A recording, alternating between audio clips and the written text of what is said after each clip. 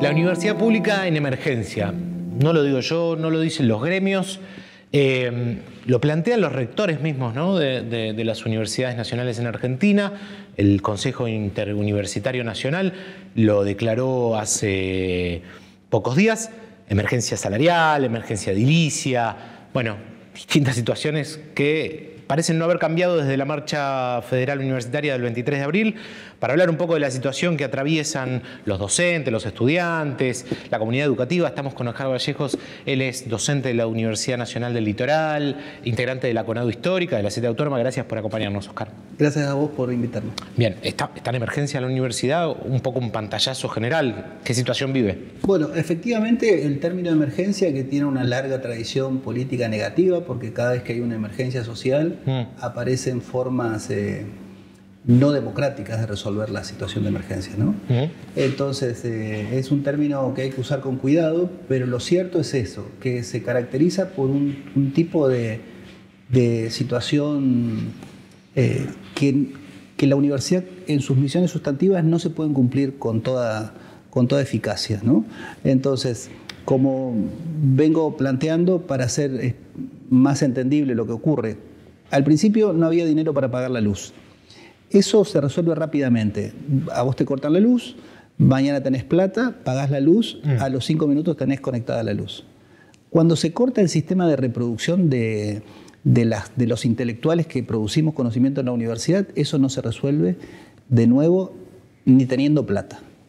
Vuelven a pasar 15 años para que esa máquina empiece a funcionar y dar sus frutos. Claro, llamás a la empresa de luz, de Sur o Metrogas, como le puede pasar en la casa a cualquiera, te conectan de vuelta cuando pagaste acá. Si lo desarmás, son trabajadores que se formaron Exacto. años eh, eh, en, en las universidades, en el CONICET, en otros institutos de investigación que por ahí se van del país, que por ahí se dedican a otra cosa, a eso te refieres. Exacto. ¿no? Se dedican a otra cosa. No hay en Argentina, porque también este gobierno está destruyendo la base industrial, Mm. la base industrial basada en el conocimiento. ¿no? Entonces no hay en la Argentina un sistema industrial que pueda absorber eh, recursos humanos altamente formados. ¿no? Y entonces eso, o lo absorbe la industria de los países centrales o se dedican a, a Uber. ¿No? Claro. O como salieron esos videos de la Universidad de Buenos Aires a ser mozo, a atender un kiosco. Y entonces, ¿por qué se dedican a eso? ¿Porque es su vocación? No, porque esas actividades resuelven económicamente lo que hay que resolver, que es sostener la vida cotidiana, sostener tu familia. Nada nuevo, ¿no? En los 90 Caballo mandaba a lavar los platos a los investigadores. Nada nuevo, pero ahí está el, el- el peso fuerte de esta política de destrucción de la universidad. ¿Por qué, digamos? Porque los más jóvenes, cuando vos ingresás a la universidad más o menos a los 25 años, que podés empezar antes como ayudante alumno, pero como un docente ayudante, empezás más o menos a los 25. Mm. Y hasta los 40 estás como preparándote, formándote, haciendo el doctorado ahora, para que a los 40 más o menos puedas hacerte cargo o de las cátedras o de formar nuevos cuadros, ¿no? Entonces vos tenés que hacer esa apuesta de unos 15 años para decir, bueno, ahora cobro poco, pero dentro de 10 años voy a estar mejor. Mm, Y ahora eh, cobran poco ahora. Y dentro de 10 años vamos a estar igual. claro. Entonces no, no hay manera de hacer esa apuesta. Por eso es que decimos, cuando se corta esa, esa maquinaria de reproducción de los cuadros intelectuales, no se puede reactivar, porque una vez que vos te vas, desaparece esa creencia de que en 10 años vale la apuesta Claro. para hacerla. ¿no? Y no es solo en el sector público, ¿no? Porque muchas veces el latillo de este gobierno o de los trolls ahí que, Mm. que abundan en redes sociales es, bueno, no- van a tener que salir a buscar trabajo en el sector privado. Ese es el latillo. Sí, la cuestión es que lo sector- están, ya, ya dan trabajo, ya trabajan en el sector Sí. privado, ¿no? Porque digamos, los docentes de las universidades privadas, a los que mandan quizá los hijos de los funcionarios eh, de, de este gobierno, se forman con docentes que muchas veces salen de la UBA, Mm. de la Universidad de San Martín, en el caso de la Ciudad de Buenos Aires o de, del AMBA, ¿no? Sí, a ver, el No trabajo en las universidades privadas es precario. Ajá. De hecho, nosotros fuimos, la primera reunión que tuvimos con Torrendel, que es el secretario de, de Educación, nos dijo, quizá irónicamente, pero con una cuota de realidad, ustedes deberían ayudarme a formar el sindicato de trabajadores en la Universidad Católica para mejorar las condiciones en las que nosotros podemos realizar actividad académica en la Universidad Católica. ¿no? Nos lo dijo Torrendel. Y entonces, ¿eso qué quiere decir? Cuando uno mira esa realidad, que están. Ahora hay un compañero que antes era de la CTA, que trabajaba con Lozano, que está tratando de armar un gremio en la, en la Católica, dice eso: estamos en malas condiciones. O sea, de ahí no va a salir la intelectualidad que va a necesitar el, país. ¿Por qué? Porque te contratan por horas, porque te contratan cuando vos das clases y después te despiden y te vuelven a contratar. ese compañero? Esos se formaron, por supuesto, en la universidad pública. Pero, vuelvo a decirte, los, los, eh, las, élites, si es que hay élites en Argentina, eh. se preocupan cuando se preocupan porque sus hijos estén bien formados, los mandan a la pública. Mm. Cuando se preocupan, como la familia Macri, mm. porque solo tenga un título, los mandan a cualquier lugar que les dé el título. ¿Se entiende? O el presidente Milei. Bueno, que Milei. La Universidad de Belgrano, digamos que en, sin Pedro de la Universidad de Belgrano, eh, probablemente los docentes que tuvo la Universidad de Belgrano se hayan formado en la UBA o en otras universidades públicas. Sí.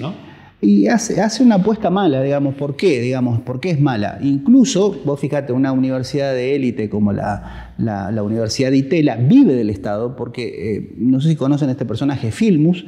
Filmus les permitió a los investigadores de CONICET radicarse en instituciones privadas.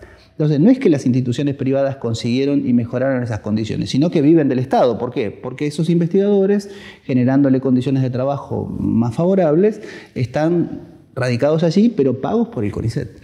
La última vez que viniste, dijiste que mi ley y probablemente los que, los que quienes lo rodean ¿no? en, esta materia no conocen el funcionamiento de una universidad. Eh, digamos, Yo creo que eso es así. esa idea? Yo creo que eso efectivamente es así. Por eso es que cuando atacan la universidad la atacan sobre todo en el plano de la enseñanza. Mm. Y entonces allí puede haber adoctrinamiento, ¿no? Mm. cosa que eso no es así, me parece que lo expliqué esa, vez que vine, pero no conocen la investigación, no, no saben que una universidad no puede existir sin investigación. Es decir, desde el siglo XIX para acá la universidad es de base científica. Mm. Entonces después vino el, el, siglo de la universidad norteamericana, podríamos decir, y entonces nosotros estamos en esa. La universidad pública, con dificultad después de la dictadura, empezó a ser una universidad que se planteó, no podemos enseñar lo que no podemos producir. O sea, el conocimiento que se produce en la universidad se tiene que producir en la universidad. Y eso significa eso, investigar la frontera, a veces con investigación propia, pero a veces también hay que poder reproducir esas fronteras de conocimiento. Mm. Por ejemplo, tener un laboratorio de educación en química que pueda reproducir la frontera con equipos, etcétera, etcétera. Eso eh, este gobierno no lo entiende. No es un enseñadero, con esa idea de ¿no? el matabruto, sí. decían en el momento la, escuela. Es un enseñadero eh, en el sentido de que eh, el conocimiento se puede comprar porque está disponible en el mercado. Eso, eso no es así. El conocimiento en la universidad es bueno o la universidad es de calidad si puede producir adentro de la universidad el conocimiento. O como nuevo conocimiento total o como las fronteras reproducidas localmente. Bien. Eh, yendo a algo que quizás no, pasamos un poco por alto porque lo sobreentendemos, porque sí, en tu caso vos conocés cómo funciona la universidad pública y, sus recursos humanos. Em, pero bueno, no todo el mundo, ¿no? Digamos, el 85% de los laburantes, de los docentes de, la universidad pública, de las universidades nacionales en Argentina, cobra por debajo de la línea de pobreza. Exactamente. Lo dimos por entendido, ¿no? De que cobran mal, pero es un dato tremendo. Una persona que se formó muchos años cobra por debajo de la línea de pobreza. Exactamente.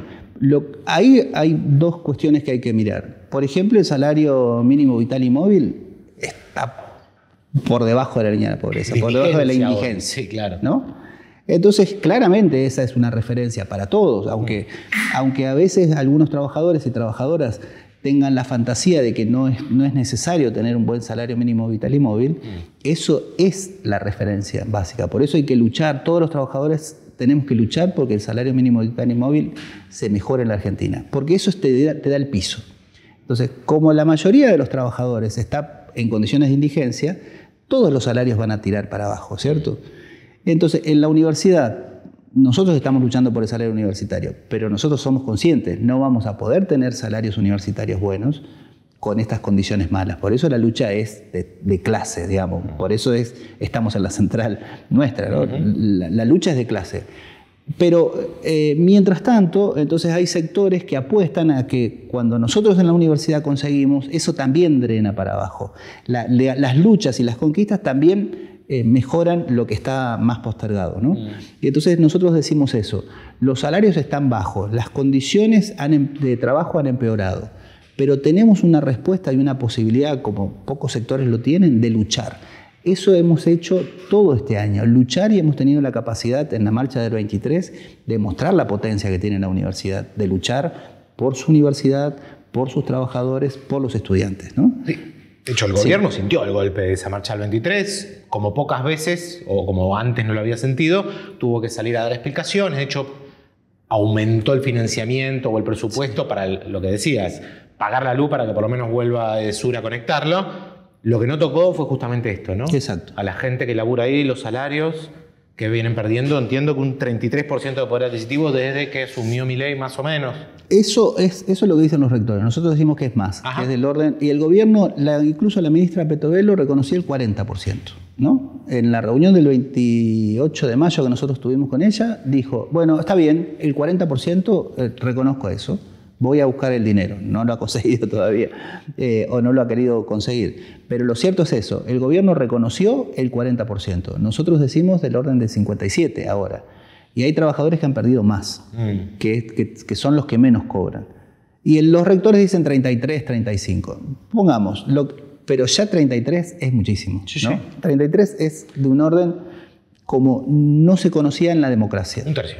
¿No? Un tercio del salario, digamos, lo perdieron. Exacto compran un tercio de cosas menos eh, y probablemente tengan que esforzarse y trabajar un tercio más para poder llegar a fin de mes, para poder alcanzar. Y, no hay manera, porque yo, por ejemplo, soy un docente de dedicación exclusiva. No puedo trabajar en otro lado.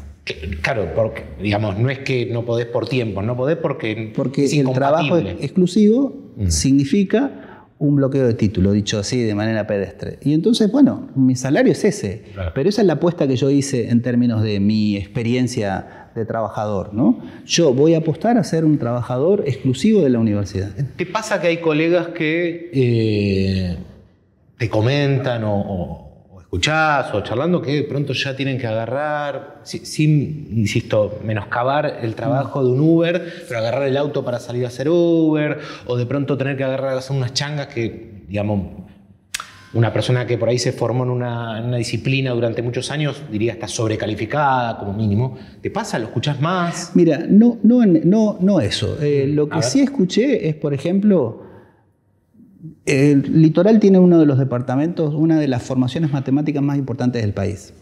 Que la gente de matemática me dijeran, estamos pensando ir a trabajar al terciario, porque en el terciario cobran más. Mm. O sea, abandonar la universidad, trabajar en el CONICET mm. y abandonar la universidad y ir a trabajar en los terciarios.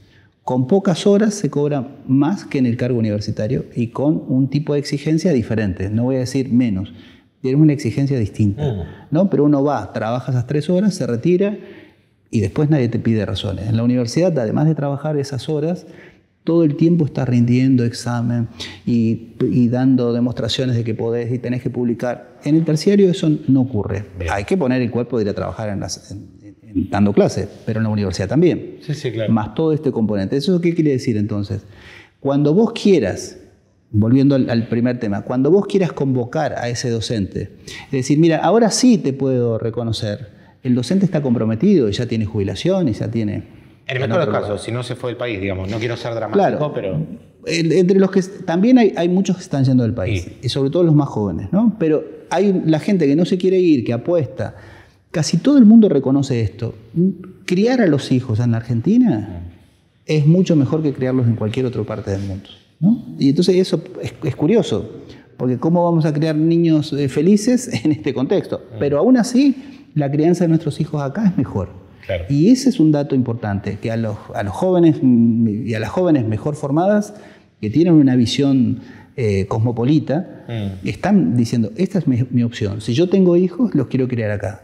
Y cuando los criaron ya están grandes para irse a otro lado. Es más difícil. ¿Entiendes? Sí. Y, digamos, siempre también me toca el horroroso lugar de hacer una suerte de abogado del diablo, ¿no? Pero digamos, está el argumento de no hay plata, lo cual es discutible. Hace poco, ¿no? Salió un informe de, la Facultad de Ciencias Económicas de la UBA que, plantea equivalencias, para que se entienda, ¿no? Hablaba de un 0,14% del PBI, sería el gasto que necesitaría, el gasto, digamos, el gasto, los recursos, para no plantearlo en términos de gasto, los recursos que necesitaría poner el Estado Nacional para que las universidades funcionen bien, para que haya un salario mínimamente digno, para que el sistema científico ande, tampoco ¿no? digamos como Brasil, México, otros países que ponen mucho más dinero. Y es lo mismo ese 0,14% del PBI que lo que se le regaló a los más ricos del país en bienes personales que no pagan, o las exenciones impositivas de Tierra del Fuego, ¿no? Digamos, entonces plata hay. ¿Qué te, ¿Qué te, pasa vos por la cabeza cuando lees ese informe y decís, sí, digamos, te indigna, te da bronca, lo sabías? Es algo que... Eh, la disputa, digamos, nosotros como sindicalistas nos formamos con esa idea, plata hay. ¿no? O sea, cada vez que uno va a negociar con el gobierno, el gobierno te dice, no, no hay, esto es todo. Mm. Entonces nosotros decimos, plata hay. Mm. Hay que ponerse de acuerdo en dónde se va a gastar ese dinero, ¿cierto? Eso sí dinero del Estado.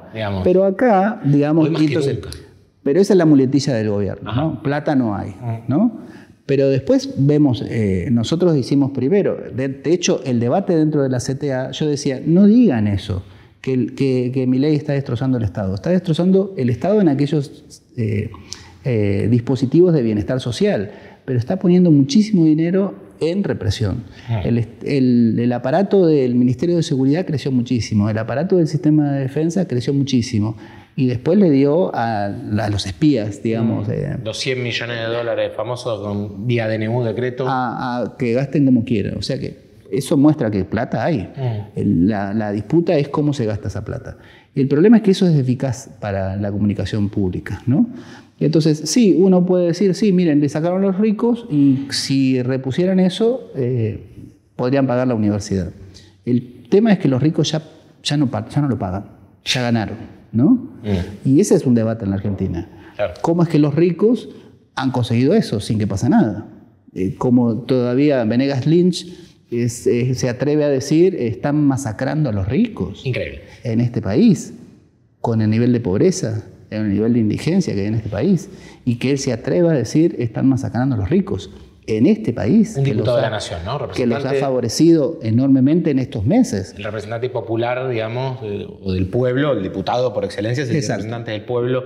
Eh, entonces, plata hay, el Estado tiene dinero, el Estado, eh, lo que estamos en disputa con el gobierno es que el dinero del Estado, que no es plata nuestra, eso también es parte de lo que hay que decir, no es con la nuestra, eso es un error conceptual y político, entonces no tenemos que creer es con la nuestra. Nosotros pagamos impuestos, en principio lo pagamos porque el Estado nos obliga. Si no pagamos impuestos, sobre todo los pobres, los ricos sí, si no pagamos impuestos, el Estado te apresa. ¿no? A los ricos no, les dan las ventajas del blanqueo. blanqueo. Pero en principio pagamos el Estado eh, impuestos obligados, no es que lo pagamos porque queremos. ¿no? Y entonces el Estado, como institución de coerción, te obliga a pagar impuestos y es el Estado el que distribuye los beneficios y los costos. Entonces, no es con la nuestra, es plata del Estado y tenemos que disputar el Estado en un sentido pleno. ¿Por qué? Porque la universidad es un dispositivo estatal fundamental y por eso es que la universidad no solamente tiene que ser eh, solventada con fondos del Estado, sino que además debe ser parte de una política estatal de igualdad social. Y ese es el otro debate que tenemos que decir. Nosotros no queremos la universidad porque produce ascenso social, porque eso es lo que ocurre en Brasil, lo que ocurre en Chile. Nosotros no queremos esa universidad. Lo que nosotros queremos es una universidad que sea un dispositivo de igualdad social que es lo que efectivamente aspira la universidad y que en cierta medida consigue la Universidad Argentina. De máxima, porque estamos, digamos, si pensábamos la, la, universidad como un dispositivo de ascenso social, o por lo menos se pensó en las últimas décadas como un dispositivo de ascenso social, como una oportunidad, un espacio que, puede dar oportunidad de ascenso social, hoy estamos un poco más lejos de eso. Ni siquiera... Yo diría, yo diría mira, eh, podemos discutirlo con más precisión. Mm. Yo creo que también cuando nosotros, digo esto porque yo doy clases, entonces, ¿qué, se decía? Eh, en el segundo cuatrimestre vamos a tener las aulas vacías. Mira, yo di clases el día, empecé el 19 y tenía el aula llena. Como si nada hubiera pasado. Entonces, la universidad es también un, espacio diferente. Y después doy en quinto año, es un curso de tercer año. Mm. Doy en quinto año. ¿Qué carrera, perdón? De ingeniería en informática. Bien. ¿no? Una de las ingenierías más numerosas. Y estaba lleno el aula. Y pregunté, ¿cómo están ustedes? Bueno, muy poquitos trabajaban y estaban ahí, ¿no? Pagando alquileres y eso. Entonces, ¿eso qué quiere decir? Bueno, hay un sector social que está sosteniéndose en, esas condiciones. Y hay otro más, más golpeado, yo también trabajo en humanidades, y el sector de las humanidades sí está más golpeado. Y entonces uno que piensa, también hay una cuestión de clase ahí, que hay que mirar. Y la universidad pública, también eso es lo, lo importante de la universidad pública, puede ser el viejo dispositivo donde las clases sociales conviven, dialogan y hacen posible que sea una vida democrática. Claro, ¿no? la escuela pública, ¿no? Digamos, no Como la vieja escuela pública, Ah, estamos a la que vuelta, ya no lo es más. Tenemos el Nacional Buenos Aires a la vuelta, que quizá es un, colegio universitario y de élite, pero que iguala, ¿no? Por lo menos en su formación, cada vez menos, porque cada vez es más difícil que, que un chico Sí. de un sector popular pueda dedicarse de pleno o de lleno al estudio. Pues, digo, pasa. Por eso digo, cada vez está más lejos ese ideal que, que entiendo, le voy a decir utópico sin falta el respeto al ideal, ¿no? De, de por lo menos que sea una, un horizonte. ¿no? Sí, y que no, no lo ha- el gobierno no ha logrado quebrar ese, ese ideario social. Eso es lo que se mostró en la marcha del 23. Bien. ¿Por qué digo esto? Porque efectivamente en, en Brasil Mm. la universidad juega un papel social totalmente diferente. La Es universidad para una élite. Tiene ese curso de, de ingreso, eh, perdón, el examen de ingreso que se llama el vestibular, Mm. y eso parte la sociedad brasileña al medio, al medio, entre quienes pueden ingresar y quienes no. Sí, sí. Entonces, la universidad juega ese papel social, orgullosa, ¿cierto? La universidad, ¿qué es entonces? Un dispositivo de segmentación social o de estratificación social. Mm. La Universidad Argentina no está, desde el 18 para acá, está Mm. pensada y luchando para jugar otro papel social. Y eso es lo que nosotros defendemos. Para eso necesitamos presupuestos, salarios, Mm. bienestar estudiantil. Bueno, ahora en el Congreso, ¿no? El Senado, eh, bueno, diputados primero y el Senado luego votan, ¿no? A favor de este financiamiento, un proyecto para financiar, por lo menos con lo, emen- lo- lo más elemental a, a la Universidad Nacional o a las universidades nacionales. El gobierno ya, el Ejecutivo Milei ya anunció que lo va a vetar, ¿no?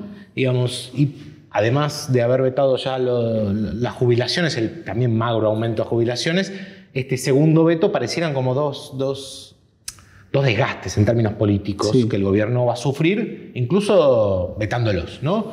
Eh, ¿Te parece que se lo puede llegar a cobrar una parte de la ciudadanía, ya que decías que, digamos, para mucha gente el tema de la Universidad Nacional es algo caro, valorado, que no pasa por abajo del radar, así como, como sí? ¿Te parece que lo va a sentir? Yo creo que son eh, tres planos, habría que mirar ahí. El plano sería el de hacer funcionar la universidad. Esa sería el- el pri- la primera cuestión y que quizá la marcha del 23 se produjo por eso. Porque allí, sobre todo la Universidad de Buenos Aires, fue estratégica en mostrar que no, no funcionaba, que las luces estaban apagadas. Y ahí la gente dice, pero la universidad efectivamente la van a cerrar, ¿no? Entonces, ese sería el primer plano y creo que gran parte de la ciudadanía que se movilizó es porque la universidad iba a estar cerrada directamente. Después hay un plano de la política universitaria. En esa política universitaria, los costos se distribuyen. ¿En qué sentido? Bueno, la política universitaria, el cogobierno está partidizado. Del 83, Alfonsín hizo todo lo posible para que la franja que salía de la dictadura se quede con la universidad. Eso no se ha movido. Vengo diciendo, la Universidad Litoral, el 10 de diciembre que, de 1983, que nombraron a Benjamín Stubrin, no sé si te suena, Stubrin, el padre de los Stubrin. El padre de los Stubrin fue rector. Los hijos eran estos. Y que desde ese día hasta acá en la Universidad Litoral gobierna la franja, sin fisura. Entonces, ese es otro plano. Entonces, dentro del plano, la franja está dividida. Hay rectores como mi rector y el equipo rectoral de, Sant- de Santa Fe o del Litoral, eh, de Cuyo, de, de- de Córdoba, que están de acuerdo con De Loredo y todo eso con el gobierno de Milei. Y después hay reformistas más alfonsinistas que están en contra. ¿no? Y entonces, por ejemplo, Jacobiti parece ser de, de ese reformismo. Hoy. ¿no? Hoy, ¿cierto? Y entonces, ¿eso qué quiere decir? En ese plano, también eh, la universidad disputa quién paga los costos de esto. Ajá. ¿no? Porque si el radicalismo no es capaz de sacar la universidad adelante, quizá pierda la universidad. Y entonces ese es un debate también. ¿no? Ahora, ¿en manos de quién la va a perder? Y ahí entonces se están jugando. Y después está el plano de la política general. Pero ¿Te, te es interesa un poco eso? inter- No, es que me parece que entiendo, digamos, me imagino a alguien que esté mirando el video y quizás no asocia Franja con el radicalismo, Ah. no conoce la figura eh, de, de esta familia que, que- que- que mencionaste, que entiendo que, es una, un- una familia que, maneja un poco los hilos allá en la Universidad de- del Litoral, pero que quizás no, Y de- del país, del radicalismo. Totalmente. Pero digamos, me refería al costo que, pague en la sociedad o hacia afuera o en la política en general, ¿no? Digamos, más allá de, adentro, de cómo se mm. puede dar la política dentro de las universidades. Y entonces por eso digo, los costos, ¿qué serían? Y después está el costo de, mi ley, de la gran política, ¿cierto? Eso, claro. Pero, por eso digo, si la ciudadanía cree que los costos son de la gran política, estamos fritos. Ajá. Sí, porque eso se acomoda en los tantos de 10 días para, creo yo, ¿no? En este país. Entonces, la ciudadanía tiene que entender que el costo está bajo en las posibilidades de que la universidad siga abierta. ¿no? Eso es lo que estamos discutiendo. Mm. Y entonces, que el costo lo asume cada ciudadano. Y entonces, si eso lo asumen como propio, entonces va a haber voluntad de luchar por la universidad. Y eso va a ser la fuerza que haga revertir ese proceso que mi ley quiere hacer. Entonces, pero después eso no necesariamente va a trasuntarse en que ley pierda las elecciones o gane las elecciones. Por eso es que yo digo, hay que defender inicialmente la universidad y después podemos defender otras cosas. Por eso los jubilados y las jubiladas nos están diciendo a nosotros, nosotros queremos ir a luchar con ustedes. ¿Por qué? Porque la universidad tiene, ha tenido la capacidad, como bien vos dijiste, que ningún otro sector ha tenido la capacidad de movilizar y de poner la mayor marcha en muchos años. Creo que la marcha del orgullo de fines del año pasado fue más o menos emparrada y no había otra, ¿no? Mm. Entonces, ese sería el verdadero costo que la sociedad tiene que decir. Si mi ley se sale con la suya, el costo es nuestro. ¿No? El costo es nuestro, tenemos que defenderla. ¿no? Y desde el punto de vista político, yo creo que mi ley y cualquier otro puede revertir eh, en las urnas esto que, que, pasa. Porque la política en Argentina y quizá en el mundo sea así. Entiendo. Digamos, en definitiva, ciudadanía, ¿no? Exacto. Que está diciendo que cada uno se haga cargo de lo que banca, de lo que no banca y de lo que vota y lo que no vota. Exacto. Está bien, sí. Mi planteo era un poco más mundano, tenía que ver con, digamos, justamente, ¿no? El, gobierno cargando con jubilados que la están pasando muy mal y cargando con algo que tiene prestigio en la Argentina, que es la educación pública y la universidad pública puntualmente digamos, entiendo lo que está planteando, cada uno se tendrá que hacer cargo de si está donde tiene que estar, si está en la calle cuando marchen los docentes universitarios acompañando, o con los dos jubilados cuando van Exacto. a, Y que ahí, entonces, el costo uno lo recibe en términos propios. Mm. Y después se elabora, y esa es parte de la, del trabajo de ustedes y el trabajo nuestro, por mm. supuesto, de cómo socialmente se va a elaborar la posibilidad de eh, una política diferente en la Argentina. Eso es, creo yo, en ese sentido uno puede pensar una experiencia política de defensa de una institución eh, que fue, me parece a mí, no sé cómo lo leyeron ustedes, el 23 es, del, orden del, acontecimiento, digo yo. Eso no, no estaban los planes que eso iba a acontecer, mm. pero eso sucedió. Y entonces cuando sucedió, ah, hubo una sorpresa del gobierno, por supuesto, pero incluso de quienes protagonizamos eso. Es decir, bueno, ¿y eso qué mensaje está alargando. Y ese es el trabajo político que hay que hacer, ¿no? Bien, mensaje, yo te pido, Oscar, porque a veces estamos charlando acá y, lo problematizamos y todo. Si te animas a convocar a quien mm. no vaya a la universidad pública, a quien no sea estudiante, que por ahí no se sienta tan adentro, a convocarlo y decirle por qué es importante, cortito, por qué es importante que marche y que acompañe el reclamo de los docentes y de la comunidad educativa. Si querés, estamos a cámara. Perfectamente. Mire, nosotros entendemos que la universidad pública es importante, en principio porque hay una voluntad política y académica de enseñar a los sectores más desfavorecidos. Y esa es parte de la estrategia que la universidad despliega, con dificultades o no, pero no es una universidad que se piensa como una universidad élite. La universidad pública pretende la mejor educación para toda la ciudadanía argentina. Y en ese sentido no es verdad que haya sectores que no llegan a la universidad y que la están defendiendo. ¿Por qué? Porque la promesa de la universidad es esa, ser una universidad con una promesa de igualdad en la Argentina. Entonces tenemos que defenderla porque es la posibilidad del futuro. Si vos no entraste este, todavía a la universidad, es posible que tus hijos tengan esa aspiración y puedan entrar. Así como yo soy primera generación universitaria y ya mi hija también es universitaria, entonces todavía estamos en el tramo de las primeras generaciones de las familias que son universitarias. Y esa es la promesa de la universidad, hay que defenderla. Porque los que ya se recibieron en la universidad, las que tienen varias, varias generaciones de universitarios, todavía necesitan de la universidad pública. ¿Por qué? Porque defienden la universidad de calidad.